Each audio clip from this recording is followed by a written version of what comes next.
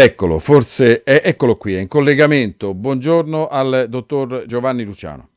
Ciao, buongiorno. Scusa a tutti, ma c'è stato un qui pro quo con i collegamenti anche con un ospite, quindi siamo un po', intrecciati. Va bene, va bene.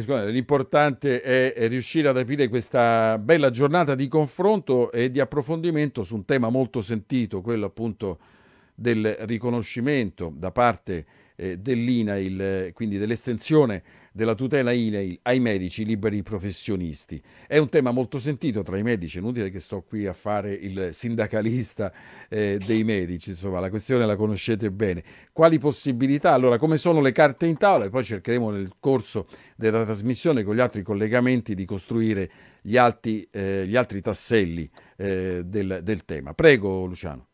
No, guarda Sebastiani, eh, la questione dell'ampliamento della tutela degli assicurati da parte dell'INAIL è un tema, ne abbiamo già parlato anche con voi, è un tema che vede l'INAIL, il CIV in testa, ma devo dire anche la tecnostruttura, l'istituto, il presidente del, eh, dell'istituto, completamente d'accordo per far sì che i 3 milioni e mezzo di persone che lavorano in Italia, che non sono ancora per vari motivi coperti dall'assicurazione di INAIL possano avere questa tutela. Poi evidentemente eh, l'emergenza epidemiologica da Covid-19 ha, ha, fatto scoppiare ancora di più un'emergenza rispetto ai medici. Quindi a che punto è la situazione? La situazione è molto semplice, sono stati degli incontri in teleconferenza, perché in questo periodo si fa solo così, tra la direzione prestazione dell'INEL eh, con, eh, con l'ENPAM, la FNOMCEO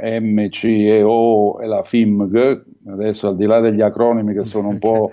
sono difficili a, a quest'ora così, della no, giornata. Non, non, non, sono molto scorrevoli eh, come pronuncia, ma è evidente che sono gli le associazioni di previdenza e assistenza dei medici, degli odontoiatri e anche dei medici di, di medicina generale. E quindi queste tre associazioni si sono incontrate, si è aperto un tavolo di lavoro per valutare tutte le possibilità eh, per far sì che si, possa, si possano creare le condizioni normative, ovviamente, perché poi ci vuole una norma che modifica il testo unico del, del 1965, una, una norma come è stato per i rider, per far sì che possano essere eh, inclusi anche loro. Dicevo, sia noi che lì nel, nel complesso siamo d'accordissimo, ma tanto è vero che devono essere d'accordo ovviamente le categorie interessate, nel senso che non possiamo dargliela, dice vabbè ti do l'assicurazione obbligatoria l'assicurazione obbligatoria, scusate il gioco di parole eh, ci vuole appunto una fase di eh, confronto come c'è stata con i vigili del fuoco che ahimè purtroppo temo che si sia arenata però rimanendo ai medici siamo a questo gruppo di lavoro per approfondire tutte le soluzioni per trovare la copertura assicurativa da parte di INAI. Certo, tra l'altro si tratta anche di individuare delle precise procedure che abbiano una certificazione, una garanzia, le famose pezze d'appoggio, giusto? Eh, esattamente, Vabbè, eh, nel, nel, non voglio entrare negli aspetti tecnici, ma evidentemente sì. eh, bisogna compatibilizzare il quadro assicurativo e previdenziale di queste categorie, di questa categoria in particolare, con le norme dell'assicurazione obbligatoria eh, contro gli infortuni sul lavoro, le malattie professionali, che invece regola tutto il resto del mondo. E quindi è una questione che deve intrecciare gli aspetti di tutela che sono quelli che sono noti, quello che fa l'INEL è noto, eh, rispetto appunto a quanto paga, quanto è il rischio, come viene calcolato il rischio, come viene calcolata la tariffa, insomma tutto quello che c'è e in più mi permetto di eh, riflettere su un aspetto. In questa fase ovviamente ci dovrà essere anche, e credo che sia magari la cosa più delicata, una sorta di fase di transizione perché questa cosa avviene non in tempi normali, ma avviene nei tempi nei quali si è evidenziata che c'è questa carenza, viva Dio qualcuno se ne è accorto, purtroppo se ne è accorto per fatti drammatici. E quindi ci vuole una specie di fase di, di raccordo che non sia una tutela che parte tra, tra, tra questo lo dico io, eh, non lo dice l'INE, che non sia una tutela che parte tra un anno, perché sì, sarà sempre utile, ma penso che ci sia urgenza. Ecco, mi sembra che il dottor Giovanni Luciano ci abbia dato delle indicazioni molto utili, insomma ha squadernato un po' che è, quello che è il perimetro eh, di questo tema, dicevamo fase di transizione, eh, calcolo del rischio, le tariffe, eh, tutto con una parola, compatibilizzazione, ecco che vuol dire cercare un po' di rendere eh, tutto in maniera armonica e soprattutto equa per tutti gli attori che partecipano a questo confronto. Allora io direi regia di chiamare a questo punto il dottor Bruno Giordano, sentiamo anche da lui che insomma sempre eh, il suo mestiere è quello de, eh, di, di, magistrato della Corte di Cassazione, insomma si occupa molto, eh, si è occupato molto dei temi legati al lavoro e sicuramente eh, ci darà qualche arricchimento interessante anche eh, su questo tema. Certo, appunto, come eh, ci diceva eh, dottor Luciano poco fa, siamo un po' nel pieno No? Quindi eh, questo da una parte ci dà un limite superiore e un limite inferiore, cioè ci dice da una parte che eh, le remore vanno abbandonate, dall'altra però non bisogna prendersela troppo comoda per fare in modo che queste eh, regole poi vengano implementate. Ecco il dottor Giordano che salutiamo, buon pomeriggio. Buongiorno. Io ci tengo a sottolinearlo, eh, Giordano è al suo primo Skype, quindi da, da, oggi pomeriggio inaugura questo strumento. C'è sempre, c'è sempre una prima, prima volta. volta. Bene, allora, dottor Giordano, eh, che dire, eh, poco fa eh, il dottor Giovanni Luciano eh, ci ha spiegato insomma quali sono un po' gli elementi in campo per fare in modo che poi eh, si apra eh, questo, questa estensione della tutela INAIL ai medici liberi professionisti. Certo, appunto, da una parte la cronaca questo ci sta dicendo, ehm, dall'altra però diceva giustamente Giordano, eh, eh, Luciano, non è il caso di andare troppo là coi tempi. A lei la parola, dottor Giordano. Beh, eh, l'assicurazione sul lavoro in Italia eh, gode di un istituto già dai primi del Novecento che è l'INAIL, l'Istituto Pubblico di Assicurazione. E di questo possiamo essere orgogliosi perché è la più grande assicurazione pubblica sul lavoro che c'è in Europa. In questo caso siamo i primi sia come qualità dei servizi e, e sia come istituzionalizzazione dell'assicurazione eh, pubblica eh, sul lavoro. Vorrei ricordare, ed è proprio questo il, eh, il momento eh, tragico per ricordarlo, che assicurazione pubblica vuol dire che eh, nel nostro sistema l'infortunato, il lavoratore che subisce una malattia professionale viene innanzitutto immediatamente indennizzato e poi l'istituto assicurativo si eh, rivale o meno sul eh, datore di lavoro o su altri soggetti che avrebbero concausato o che comunque hanno la colpa di questo infortunio. Se c'è una colpa del datore di lavoro, ovviamente. Ora, mi pare che questa sia proprio l'ipotesi di cui ci stiamo occupando in questi giorni. Stiamo vedendo che il bollettino di guerra purtroppo segna numeri in crescita per eh, gli operatori sanitari e i medici eh, che si eh, ammalano a causa del eh, coronavirus. E purtroppo in alcuni casi anche eh, si arriva al decesso. Allora vorrei sottolineare questo, se siamo in questa situazione vi è una eh, ipotesi tipica di malattia professionale mi chiedo eh, perché i medici e gli operatori sanitari, o almeno i medici, non dovrebbero essere assicurati anche dall'INEL in questo caso. È una, eh, è una questione aperta come per altre categorie, ovviamente.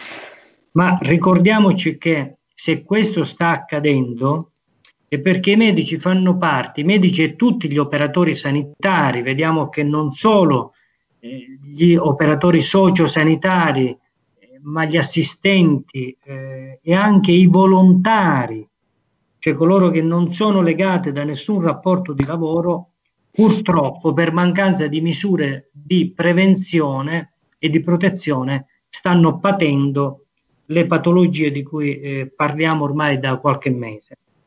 Eh, vorrei ricordare a me stesso che eh, quando si parla di, preven- di responsabilità si parla di prevenzione, ovviamente. Anche la responsabilità assicurativa è fondata sulla prevenzione, se c'è stato o meno prevenzione. Ma la prevenzione non è, come qualcuno vorrebbe far credere anche in queste ore, semplicemente la eh, eh, dei dispositivi di eh, protezione individuale perché prima ancora che dei dispositivi di protezione individuale ci sono i dispositivi di prevenzione individuale e la prevenzione nel nostro sistema, soprattutto sistema sanitario, come ci spiegano da anni gli esperti di rischio clinico, si fa innanzitutto con l'organizzazione sanitaria, cioè organizzando un servizio che va dal triage fino alle dimissioni è costituito da una serie mh, mm, infinita di passaggi, di segmenti del eh, processo eh, lavorativo, che non è soltanto quello terapeutico, è quello preventivo, quello protettivo e quello diagnostico anche, oltre che quello terapeutico. Allora, in breve vorrei sottolineare eh, questa cosa. Perché sta accadendo questo?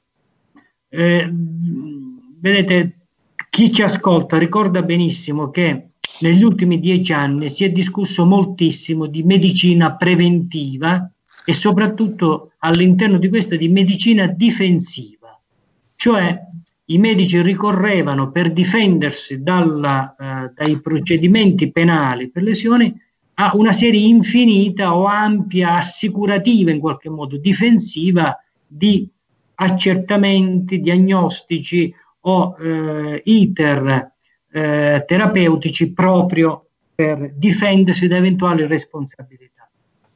Beh, forse i medici dovevano difendersi non dalla magistratura ma dalla politica, perché chi ha gestito il nostro sistema sanitario nazionale ovviamente si è assunto delle responsabilità eh, tipiche que- in questo caso.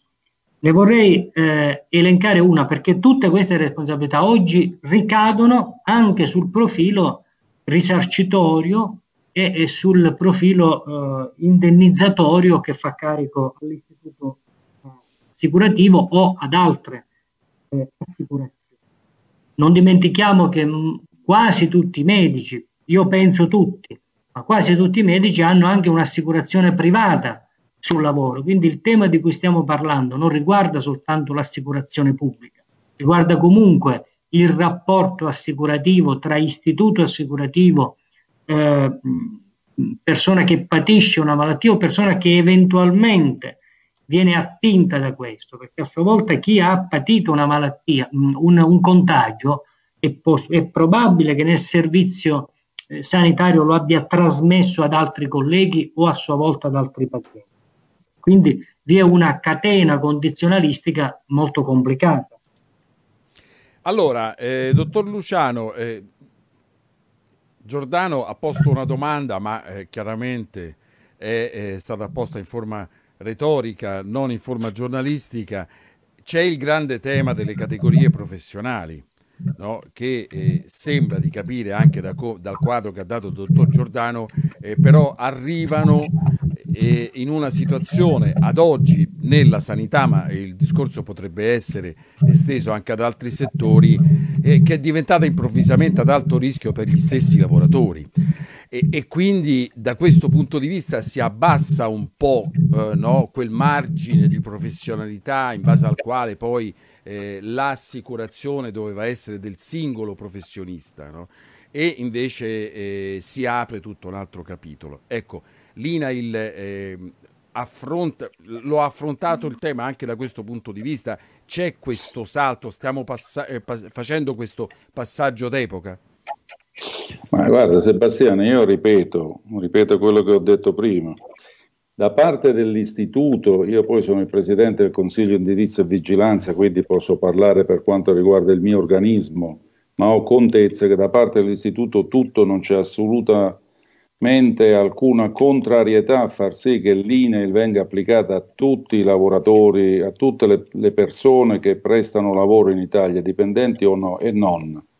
Stiamo parlando dei medici, eh, non so quanti sono in termini di milioni le persone che hanno la partita IVA, quelle che prendono i 600 euro di adesso, che non sono assicurate dall'INEL, ma ovviamente non per una questione di non volontà dell'INEL, per una questione che io sono d'accordissimo su tutto quello che ha detto il dottor Giordano, lo sposo in pieno, ma è su una questione di testo unico delle disposizioni per l'assicurazione obbligatoria contro gli infortuni sul lavoro e le malattie professionali, DPR 1124 del 1965.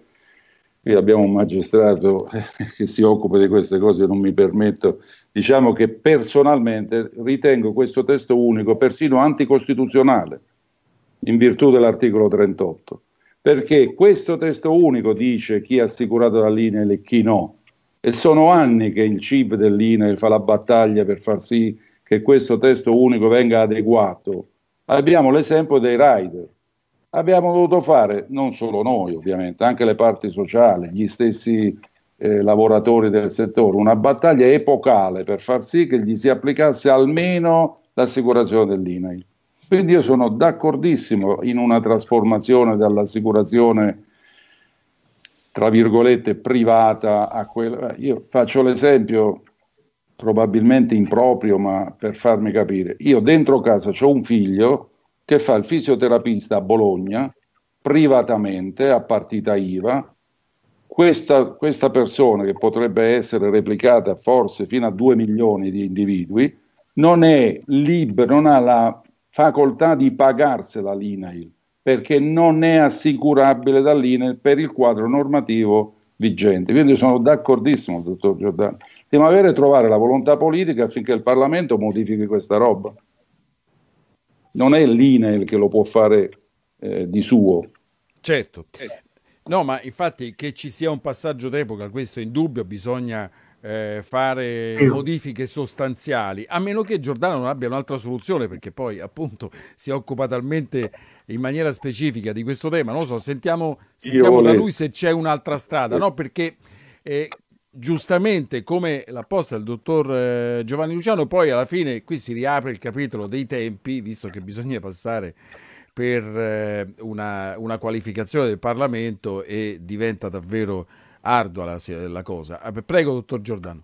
Sì, ehm, ha ragione il presidente Luciano perché il ritardo del Parlamento, del legislatore in questo caso, in questo settore, non soltanto è eh, pluridecennale, eh, quindi non faccio nessuna valutazione politica, ma il dato certo. cronologico è di per sé una imputazione di responsabilità ma è anche eh, un, eh, un, dato purtroppo ta- comunque tardivo, perché ancorché eh, oggi pomeriggio venisse adottato un decreto legge,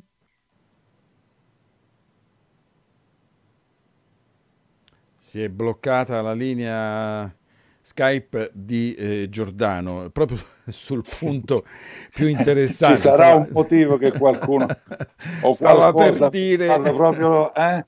Ci stava per dare la soluzione, eccolo, dottor Luciano. Eccolo, eccolo. eccolo.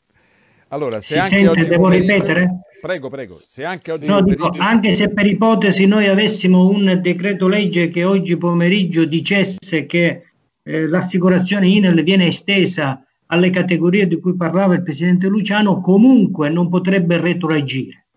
Certo. E quindi potrebbe valere come tutte le leggi da oggi in avanti. Quindi comunque vi è un ritardo di cui come sempre o come spesso in Italia ci si accorge quando si è nel pieno di una emergenza, come per altri, eh, per altri settori.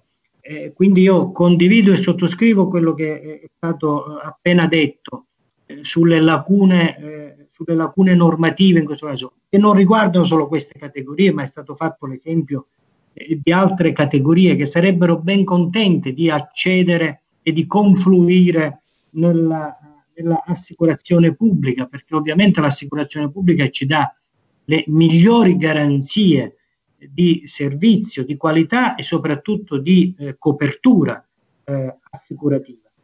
Eh, vorrei comunque eh, aggiungere, se ho ancora pochi secondi, sì, sì, prego, dottor Giordano. a questo riguardo che il tema della sicurezza degli operatori sanitari non è un tema che eh, da molti, tra cui chi vi parla, viene sollevato soltanto nelle ultime settimane. Lo abbiamo detto da moltissimi anni, in particolare da quando è entrato in vigore il decreto 626 nel 1994, abbiamo evidenziato che il sistema sanitario eh, rappresenta sia quello pubblico sia quello privato una grave anomalia in materia di sicurezza, perché non soltanto è il sistema che deve dare sicurezza e prevenzione agli altri, il sistema sanitario è quello che comprende e, ehm, e governa, disciplina il servizio di prevenzione eh, nei luoghi di lavoro. E questo quindi dovrebbe essere il servizio più sicuro di tutti gli altri, ma i fatti stanno dimostrando che, eh, che così non era. Eh, colgo l'occasione per ripetere una denuncia che facciamo insieme ad altri, sono per fortuna in buona compagnia dal 1994, cioè da quando si è istituito il, eh, il, testo, il vecchio testo unico sicurezza lavoro, il decreto 626, e poi nel 2008 con il, testo, con il nuovo testo unico. E cioè che i servizi generali in materia di sicurezza del lavoro per la prevenzione sono affidati ai servizi delle ASL in tutta Italia. Quindi i servizi delle ASL devono controllare tutti i luoghi di lavoro, tranne alcuni riservati ad, alcune, ad alcuni servizi eh, speciali e particolari, ivi compresi gli ospedali, ivi comprese le strutture sanitarie. Questo significa che i dipendenti di una ASL, gli ispettori di una ASL, devono controllare i loro datori di lavoro. Qui non si tratta di far coincidere i controllori e i controllati, ma addirittura che i controllori sono sottoposti ai controllati. Ma voi ve lo immaginate un ispettore della ASL che sale al piano superiore e denuncia per tutte le mancanze in materia di sicurezza il suo datore di lavoro che è il direttore generale della ASL? Ovviamente questo è molto difficile è un'incompatibilità, un conflitto di interessi che non va nemmeno spiegato. Alcune ASL hanno provveduto scambiandosi questi servizi, cioè la ASL A controlla la ASL B, la ASL B controlla la ASL C, e così in modo circolare, ma rimane comunque un conflitto di interessi, al di là di questa eh, soluzione originale, genuina, spontanea, ma non normativa. Come tra, norma... come tra, l'altro, accade con le procure, vero dottor Giordano? C'è questo sistema eh, di... Certo, questo però è previsto dal codice di procedura penale, per cui certo. nel caso in cui ci siano degli uffici giudiziari coinvolti attivamente o passivamente come magistrati imputati o magistrati vittime, se ne occupa il distretto di corte d'appello più vicino allora, e io mai in modo reciproco. Volevo chiedere al dottor Luciano se eh, questa, questa contraddizione, questo paradosso che c'è eh, nel sistema sanitario ha una qualche rilevanza poi per eh, ingegnerizzare la fase di transizione. No? Immagino che abbiate discusso perché questo ha una ricaduta insomma, sul calcolo del rischio e, e quant'altro. Prego. Eh, no, mi dispiace, ma di questa cosa ovviamente non, non, non è che sta le discussioni che può fare un istituto come l'INEL.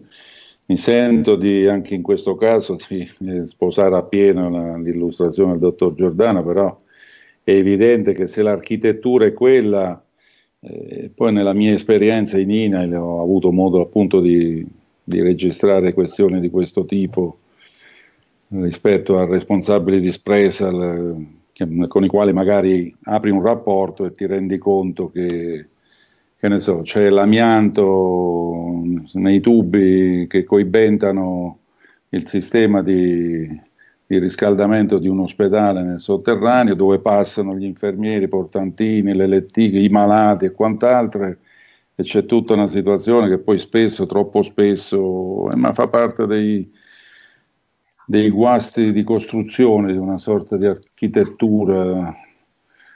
Mm, è evidente che possono esserci dei problemi, ma non posso sicuramente esprimermi in merito a, a quello che è le, posso esprimere un'opinione personale, ma non credo che sia certo. questo il caso.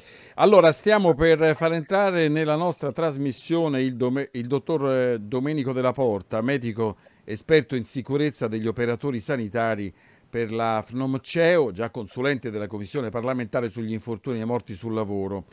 Allora, eh, dottor Della Porta, pronto? Pronto, pronto, ci siamo. Buon ecco. pomeriggio, ecco. eccolo qui. Allora, ehm, niente, stiamo appunto discutendo di questo grande tema eh, dell'estensione della tutela INAIL ai medici liberi professionisti.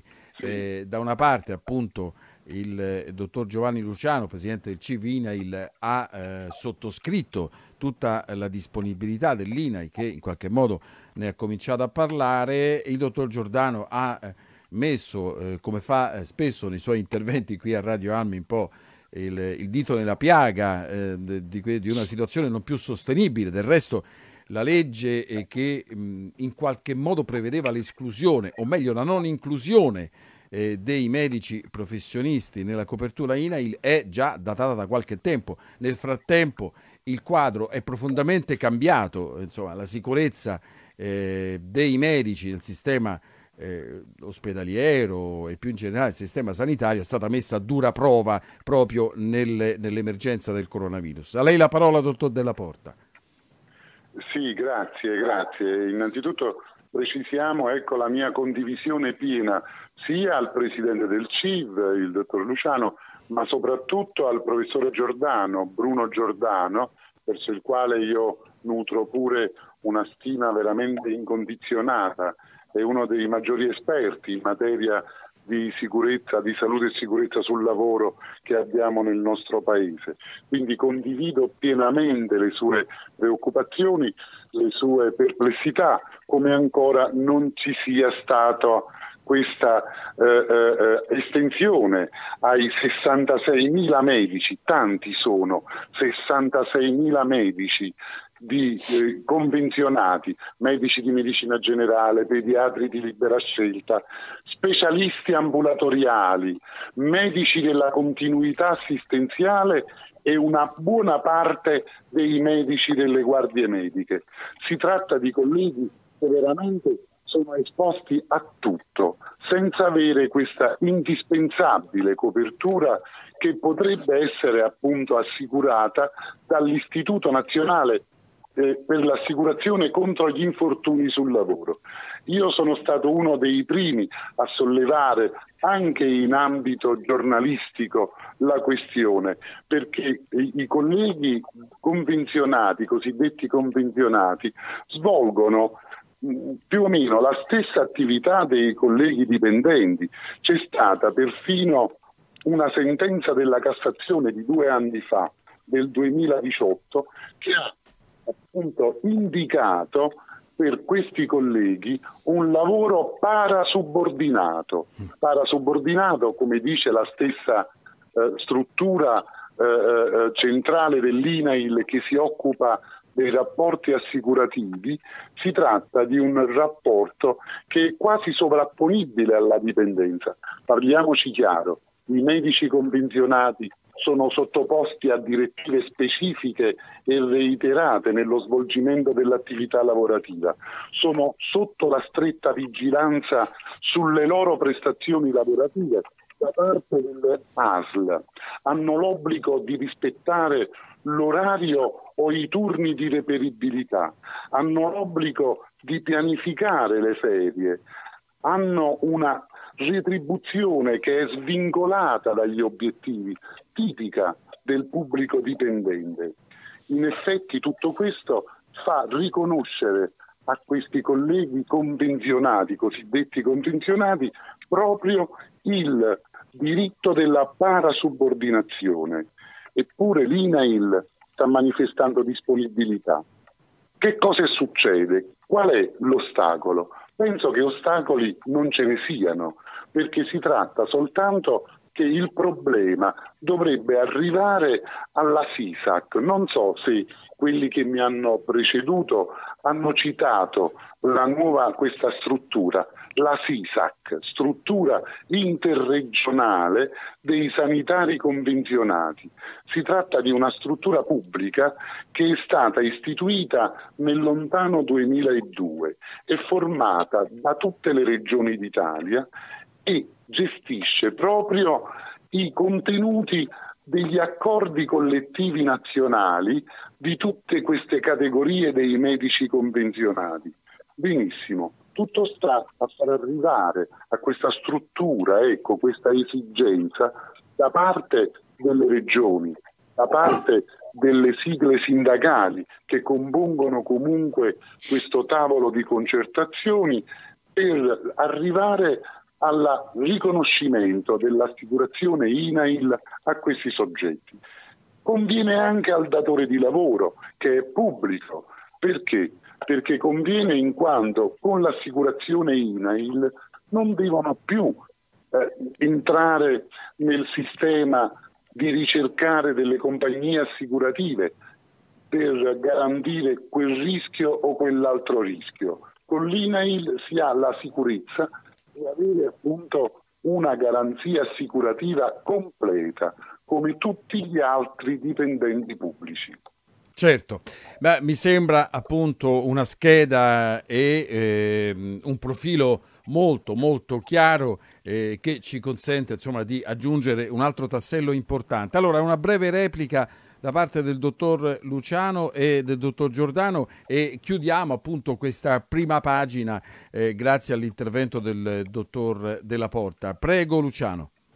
Sì, una battuta. Il dottor Della Porta ha praticamente dato, dato forma alle mie preoccupazioni iniziali quando vi dicevo all'inizio purché questa cosa non si faccia l'anno prossimo eh, perché tit- non vogliamo adesso, lasciamo perdere titolo quinto, poteri concorrenti, poteri delle regioni, enti locali, Stato centrale, eccetera, eccetera. E, è un'ulteriore complicazione, almeno in termini di tempo, e spero solo di tempo e non anche, e non anche di merito, dell'architettura che governa l'Italia, insomma, l'architettura di poteri che governa l'Italia, che spesso, spesso su problemi urgenti ingenera da sé una situazione veramente di, di eccessiva lentezza, mettiamola così. Allora, appunto, eh, su questo tema andrà investito il Parlamento, da quello che ci ha appena detto Giordano, quindi creare un po' una sorta di movimento d'opinione. Mi sembra che su questo, tra l'altro per i diretti interessati, eh, ci siano delle buone premesse. Insomma, vi vedo tutti eh, eh, abbastanza uniti e concentrati sull'obiettivo. Prego, dottor Giordano. Ma il, è stato detto prima che eh, ho messo il dito nella piaga, questo è vero, ma una delle piaghe, il dottor Della Porta da par suo eh, ha fatto un'analisi e ha messo il dito in un'altra piaga che, che ovviamente eh, purtroppo è una piaga purulenta che bisogna eh, curare al più presto, cioè quello della, del tipo di assicurazione. Allora vorrei ricordare con una così ideale linea di congiunzione fra quello che dice il presidente Luciano e il dottor Della Porta, eh, in cui si parlava prima di costituzionalità di questo regime, è ovvio che ehm, noi abbiamo davanti un tema di eh, correttezza istituzionale nei confronti degli operatori sanitari, perché? Eh, le assicurazioni private eh, calcolano il premio assicurativo in base al tipo di rischio e all'entità del rischio, all'indice di rischio, ovviamente, come per tutte le assicurazioni. Mentre l'assicurazione pubblica ha un altro parametro che non è quello di mercato, è quello di copertura per la qualità del rischio e comunque di una copertura assoluta di indennizzo per ciò che si verifica uh, nella vita del, eh, del lavoratore. Eh, la differenza è enorme perché nel primo caso noi siamo al, eh, diciamo, lanciamo questa categoria, lasciamo questa categoria nel mercato assicurativo che ora avrà una altissima impennata. Ora il rischio è altissimo.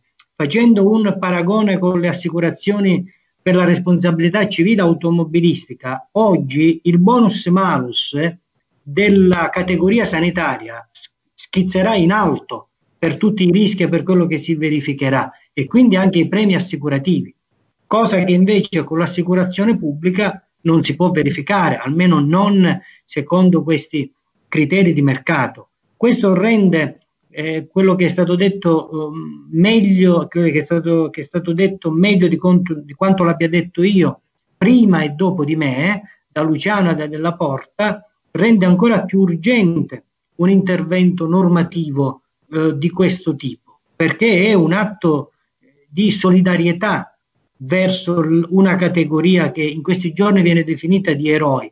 A me piacerebbe che i medici e gli operatori sanitari non fossero né eroi né vittime di alcuno, ma fossero semplicemente garantiti come operatori, come professionisti, come lavoratori.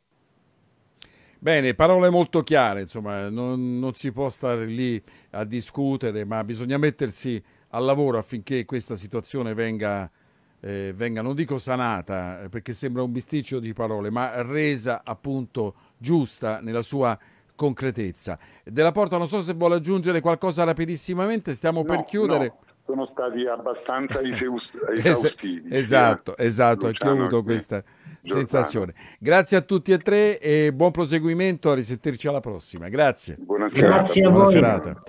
Grazie, buona serata.